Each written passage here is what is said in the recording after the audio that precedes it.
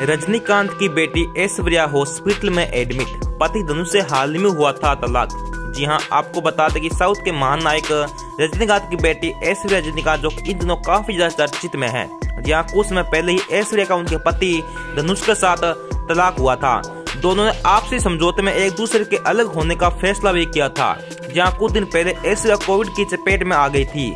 हाल ही फिर से जो एक बार ऐश्वर्या की कुछ हॉस्पिटल की तस्वीरें सामने आई है, जिसमें यह साफ़ दिख रहा है कि वो हॉस्पिटल में है। जी हाँ उनकी तस्वीर में देखा जा सकता है कि वो किस तरह जो कि हॉस्पिटल के बेड पर बैठी हुई है। इस तस्वीरों को देखकर उनके फैंस जो कि काफ़ी ज़्यादा परेशान हो चुके हैं। आपको बता दें कि ऐश्वर्या रजनीकांत जो की फ़ोटो सोशल मीडिया पर वायरल हो रही है, उनमें जो कि वो हॉस्पिटल में एडमिट हुई दिखाई दे रही है। इन तस्वीरों को खुद ऐश्वर्या ने अपने इंस्टाग्राम पर साझा किया है। वहीं ऐश्वर्या ने यह साझा किया कि उनके दोबारा हॉस्पिटल एडिट होना पड़ा। तो दोस्तों, आपका इस वीडियो में क्या कहना है? मुझे कमेंट में ज़रूर बताएँ। यदि आप रजनीकांत या फिर ऐश्वर्या के फैंस हो तो वीडियो को लाइक और चैनल को सब्सक्राइब अभी कर दे, ताकि आपको इस प्रकार की ब्रेकिंग न्यूज़ सबसे पहले मिल सके। धन्यवाद।